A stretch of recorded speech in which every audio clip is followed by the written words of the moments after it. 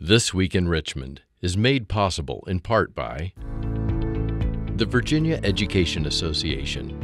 An investment in teachers today will pay dividends tomorrow. Dignity Memorial. The Dignity Network provides professional and compassionate funeral, memorial, cremation, and cemetery services throughout the Commonwealth of Virginia. Virginia Healthcare and Hospital Association for jobs, the economy, and public health, committed to advancing health and economic opportunity for all Virginians. Virginia Tourism Corporation, promoting why Virginia is for lovers, lovers of wine and craft beers, the outdoors, beaches, history, music, and more. Fall in love with Virginia at virginia.org. Additional support provided by these sponsors.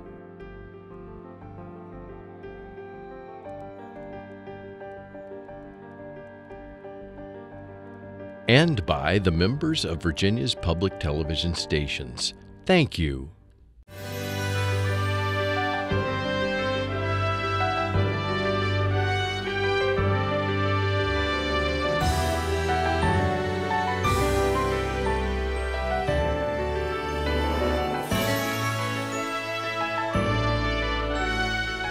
Welcome to This Week in Richmond, and a very special welcome to three friends, colleagues that I have known for the better part of my life, and particularly down at the capital, the Commonwealth of Virginia.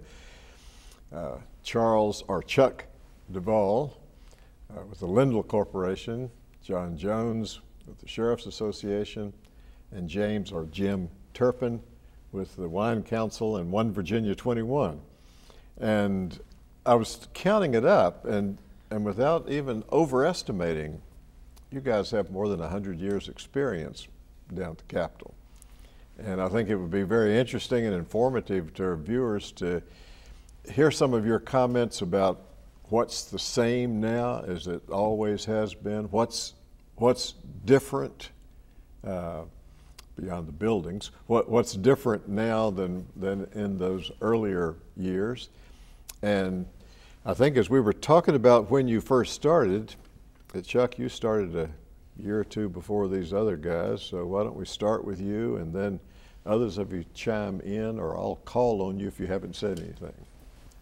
Well, obviously, a lot of things have changed. One thing in particular, you've gone from one party politics to at least two party politics for the most part. Um, you got to remember in the 70s, you're coming out of the Byrd era. Um, and the Democrats, I think, were trying to figure out what they really were. The Republican Party was trying to grow, and it's grown uh, obviously substantially in that period of time. Um, and a lot has changed too. Just we're sitting here, TV technology's changed. It plays a role, I think a lesser role probably in what the three of us do for a living.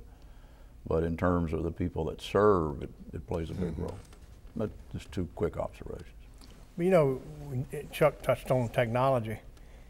Back in the old days, the morning hour, was the morning hour. That's when you introduced your friends that came to visit in the General Assembly, the members of the House and Senate.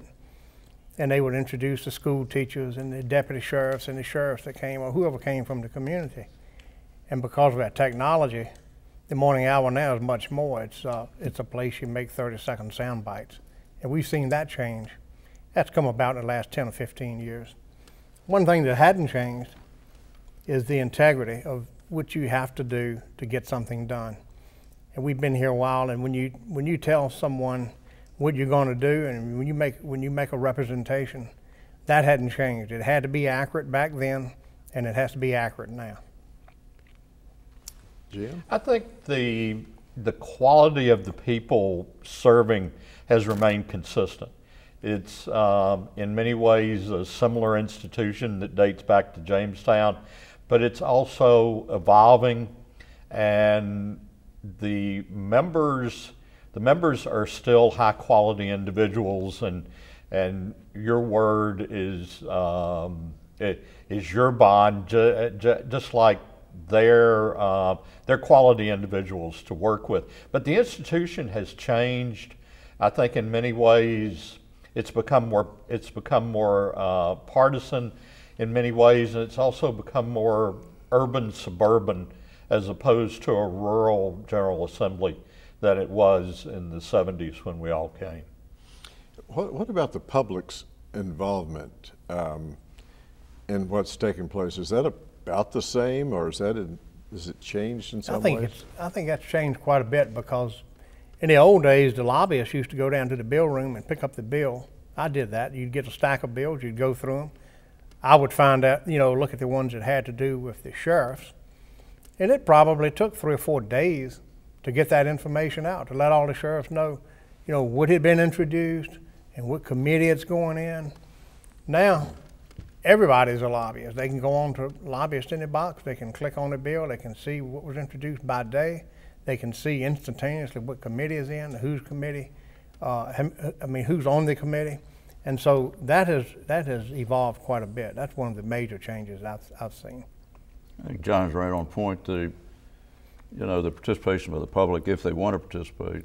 And you see, I think what that does, though, that leads a lot of groups, probably on the fringes in both parties, to be the activists and, uh, and probably cuts down some the influence of some of the people that really ought to be there and help and try to make form those decisions. But he's exactly right. Anybody that wants to be informed today is informed instantaneously. And just the sheer volume of the number of individuals who come to the General Assembly. There's, uh, at the building we're now out of, there was a line down the, down the block to go, uh, to go through security. That didn't used to be the way. I, I remember, John talking about picking up bills. I remember my first session when I was a legislative intern.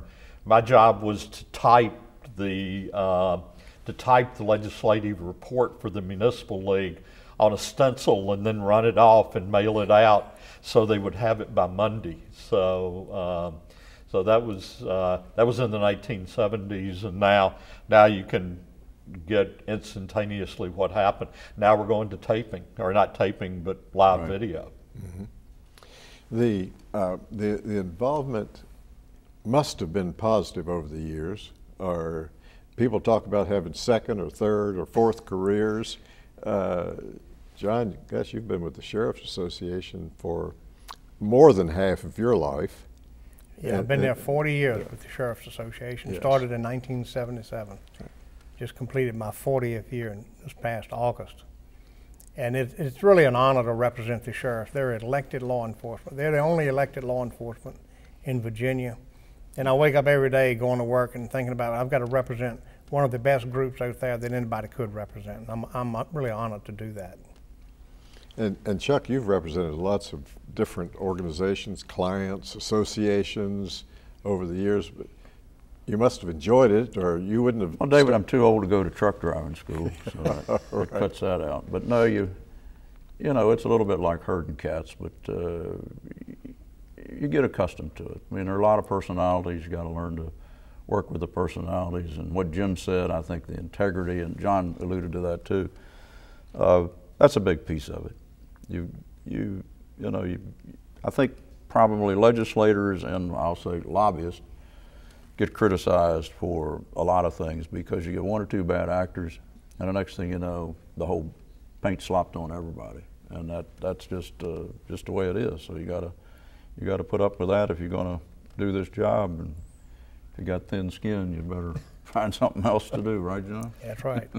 And, and Jim, you stopped for a while and, and even referred to yourself as a recovering lobbyist. Then I fell off the wagon. And, and then and, and now you're now you're back, so you couldn't stay away either. Well, I, I started I started in uh, Richmond at the state level, moved to the federal and even some international work, and then came back to my roots where I started at the General Assembly, because there were people there that uh, that I still knew that I'd still worked with, and that I enjoyed it, and come to find out I was still pretty good at it and um, was was glad to be back um, in, in, in as part of the institution. As you look back in the earliest years, what really prepared you for doing that? What you came from? You had different backgrounds, and uh, not all of you went to VMI, right? so, what what really prepared you? What there's someone watching the show now who may be our children's age or maybe my grandchildren's age might say, I would be interested in doing that that kind of work that these guys are talking about. So, as you reflect on what prepared you, what do you think would well prepare the, the next generation who might come along and want to do the kind of work you're doing? I, I learned the basics of it through politics and the interest in politics and the people, the people who get elected. Um, I remember my mother was education chair for the League of Women Voters in Atlanta and used to take me to the Capitol. And I just thought it was the most fascinating process. And in Georgia, it was like the circus coming to town, and just became enthralled with uh, with the whole legislative process and uh, and how it works and the ins and outs of it, and the individuals that make it up. I think uh, I came in through a different door. I, I didn't come in to be a lobbyist. I kind of had to register as a lobbyist and and become a lobbyist to do the job the sheriffs wanted me to do, and that is to get the message out on what their issues were. So my background was public safety. I came, worked as in criminal justice planning. That's my education. And, and when I became the executive director of the Sheriff's Association, the sheriffs looked at me and says, you know, you, you might ought to go to the Capitol and, and tell everyone what we're doing and, and, and how much this cost. And that's how I got into lobbying. Mm. It kind of became a necessity uh, as a second as a second thought. Well, John, I think came out it from the right course. I mean, he, he he's a you know specific expert in that arena and done one devil of a job for the sheriffs and for law enforcement his entire career. Mine came in. I came a little bit like Jim. I grew up in a political household. Uh, was involved in some campaigns, some successful, some not too successful, and ended up uh, working for a member of the legislature for a year or so, and then ended up uh, needing a little bit more to do, and a job opened up with a trade association. I took that and over time found that that wasn't really as challenging as I'd like it to be and not as lucrative as I'd like it to be. So kind of another group approached me and one thing kind of led to the other. But I, I guess the thing I've learned is there's more I don't know than I do know. And uh, uh, it's, it's always something different. I mean, particularly in my line of work, I think it all all three of us would probably have that. There's a new issue every day. Mean, I would happen to go out of town for the weekend, and bingo, the phone rings, and I got a client who's got a big time issue, and you know, I don't know anything about it. Got to get educated, try to figure it out, figure out what makes it tick. To answer your specific question, how they get into it, I think there are any number of ways. You can get at it from a background specific like John had, or a little bit like Jim and I have. Um, I've always tried to get a young person that's in college to help me out during the session. Um, I think a lot of them find out it ain't what it is in the textbook. It's a little bit different, but uh, you know, at least gives them some experience and they can learn, do I really want to do this? Do I really want to have to put up with this or do I want to try something else? But there are a lot of entry points. I think to, to comment on the last points you made, Chuck, that the local colleges and universities around Capital City really do a good job, I think, of trying to get students to, to come and, and have internships with legislators, with lobbyists, with trade associations, with media to try to determine that. And uh, there've been a couple, led, not correct anybody, there have been a couple legislators who've really been good at that. Harry Parrish, who these guys know, Harry's gone now, but Harry was a old jobber and a great legislator from up up in uh, Prince William County he paid. I mean, this guy was a successful businessman, but he brought a, child, a young high school kid down here every year, changed him out every week, made him dress in a suit and tie, or you know, it was a lady, made her dress appropriately, and, and let him shadow him, put him up in a hotel room. Uh, there are others that have a child who comes in or a young person that follows them on a day-to-day basis. So that, that's a good experience for them. I, I started as an intern. It was part of my graduate school fellowship to be the uh, to be the legislative intern during session. And so that that along with everything else just just just sold it for you. That's right. Yeah. As you think back, particularly in the earlier years, we won't comment about all the delightful characters that you know now, but when you think about past years of people you've worked with at the Capitol, whether they were governors or legislators or legislative staff, who are, who are some of the ones that come back to your mind as some of the most memorable characters that you You know, uh, there's so many, but to answer that, I, two names come to the forefront with me, and that's the former Speaker A.L. Philpott. I had so much respect for him, and we're both from Southside Virginia. And every time I appeared before a committee about a sheriff's issue, and he was always interested in sheriffs, he did all he could to challenge me. And that made me mature a little bit, and, he, and I think, you know, he kind of took me under his wing. And I just enjoyed so much dealing with, with A.L. Philpott. And, and I've always thought about that. And, you know, he was so conservative back then. Today, he'd, I don't know what party he would be in, like, what I, I guess I do, but I mean, he, if, if the flavor has changed, it's all changed a little bit on the political spectrum as to what they really represent. But he was about as conservative as anyone there now. And he, he was a Democrat. And the other one that stands out, there was, there was always a, a fun challenge was Hunter Andrews.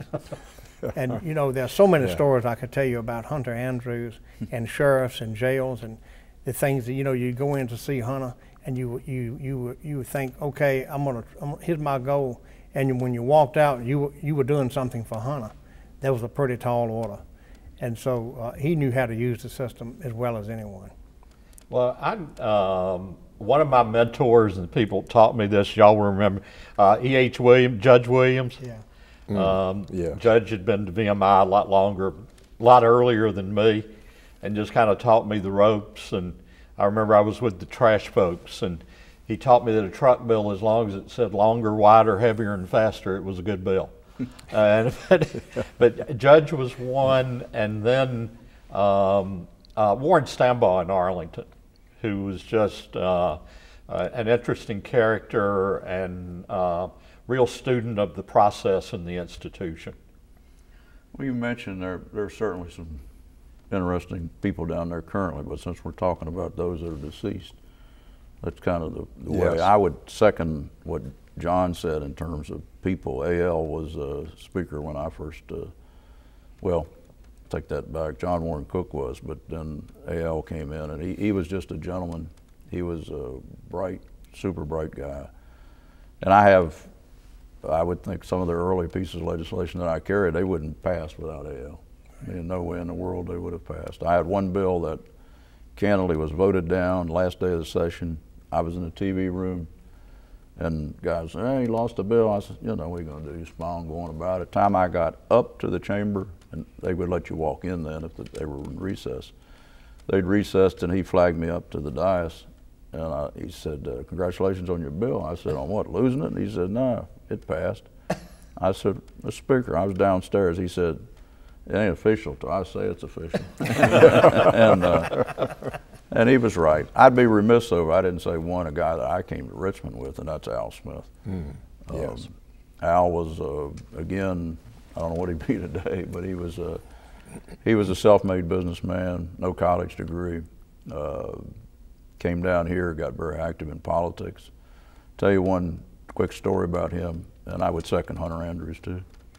But the uh, uh, when Robb was governor, uh, Al had been his finance chairman, and they were in a boardroom and trying to decide on who's going to be appointed to some college boards, and they wanted to appoint uh, um, a guy out of uh, down the south side, Billy Camp. Now Billy had gone to UVA, but Billy didn't graduate from UVA. Billy got a certificate of attendance from UVA, from the, signed by the president. So his name was on the table for appointment to the board. And uh, one individual said, you know, he never he went to UVA, he never graduated. Next one said, nah, he didn't graduate. Didn't even, you know, he never finished college. Got to Smith. Smith said, some of us never went to college. and uh, Robb said, put him on the board. And he was put on the board. And Hunter was the same way. Hunter was just a, a very knowledgeable guy, high strung. Um but you had to perform. If you didn't, uh, if, if you didn't do it right, he, he pointed me one day. On a, we had a bill. Jim was on recycling, and it moved, bounced around ten different committees. Was in his committee, and uh, I cornered him on. He was getting on the elevator. He turned around and pointed his finger right in my face. You lied to me. I never want to see you again. I thought, good God, that's the end of my career. So we were at a function uh, about two days later, and uh, Joe Gartlan, who was real tight with with uh, Hunter, was there. And he said, "How's it going?" I said, "Well, it was going pretty good about two days ago." I said, "I think I'm going to truck driving school after this one." He said, uh, "Not that I wouldn't like enjoying driving a truck, but he said." Uh, and I told him, "Oh, you know, Hunter," I said, "Joe, you're on the inside. I'm on the outside. That's a little different." So about 15 minutes later, I was up at the bar. Hunter came up behind me, and I said, uh, "Buy you a drink?" And he said, uh, "I'm surprised you're even talking to me." And that was him. He had, he had, I'd made a mistake. I shouldn't have cornered him, or I did. And he'd made a mistake, and life went on. Bill didn't pass, but life went right. on. Uh, I've got a comment on the on the A.L. Philpott part too. Very recently, I had the good folks here at the station take some video training tapes that I did in the late 1980s and put them on an MP4, I believe it's called now, so I could watch them. And there it was. I, I knew he had said it. Now, when I was interviewing the speaker in his office, he said, You know, sometimes the Republicans have a good idea on a bill. and he said, So we kill it and then one of us brings it back the next year and it passes. and, and it, was, it was just between a puff of his pipe, that, that, that was it. And I had told that story to some of the younger Democratic delegates who've complained that they seem to think that happens to some bills now, uh, that, that a bill, a good idea, that comes back another year with a different patron. I said, things don't change. I said, Speaker Philpott just said it just as plain as day, and, and no embarrassment about that. That's just the way it was. Occasionally they had a good idea, and the bill would be brought up. Well, our time's going to be out and, and very quickly, and before it ends, uh, you all have other stories and other thoughts about the process, about elections past, about things. So let me just leave it wide open and see what else you would want to bring in. I know you're working on an issue now that's a hot issue, not talking about wine, that's always hot, but uh, redistricting. And the sheriffs are always concerned that and are being moving on to other areas of law enforcement because of salary. And Chuck, you always have multiple number of big issues you're working on. Well, with our, with our organization, the sheriffs provide law enforcement, primary law enforcement in 86 of the counties. We have today around 29,000 inmates in jail. we don't pay these deputies nearly enough to, to work in those jails and to get out and risk their lives. We lose them in the line of duty and they get assaulted. So that's always our top priority. And there are a couple of other issues that I would be remiss if I didn't point out. That is the mental health issue. Hmm. We have people right. in jail that should not be in jail because they're mentally ill. And if, if we had adequate of facilities otherwise, you know, they, they may not be there. They're there on nuisance charges, trespassing, petty larceny. And the sheriffs are doing the best they can handling these mentally ill people, but we've got thousands of them. And it's, it's, it's, uh, it's very disappointing to see that go on. We're making inroads, the Deeds Commission has, has, has done a lot. We've got a long way to go, it, and this stuff takes money. Well, the my, my two current clients, the the wine industry is interesting because it is evolving into a mature industry and the issues be- become more complex. Chuck, Chuck, was on the opposite side of some of it and help, helped us work to a very unique compromise on distribution. But it's it's an evolving industry that's maturing. Um, the redistricting is its own set of challenges, and if you've been around long enough, you've been on all sides of redistricting and and where the lines are drawn and how they're drawn. But it's something that impacts all the way from the General Assembly up to Congress, and there's um, but both parties have been uh, but both parties have drawn districts to benefit themselves, and uh, seeing that, having a different perspective on that has been has been an, has been an interesting exercise. Chuck, I think I'm getting a signal that our time No is problem. up. And sorry we didn't get to some of your issues, but thank you all three for your conversation you've had. Very informative. Look Thank you forward. for being, thank you Thank for. you. Thank you for having us.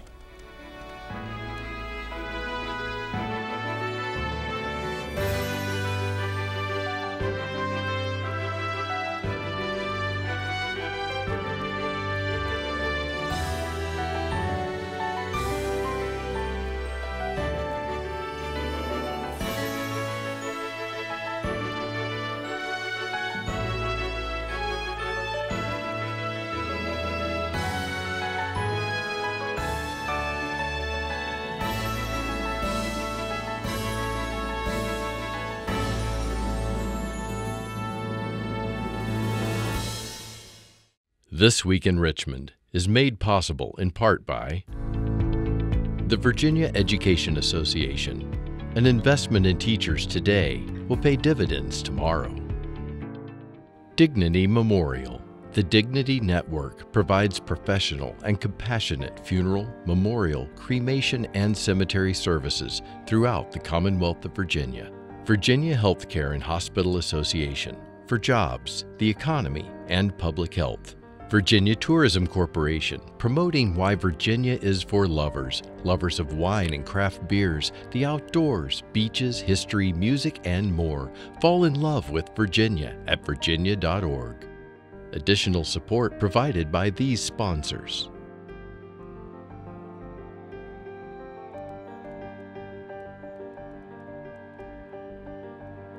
And by the members of Virginia's public television stations. Thank you.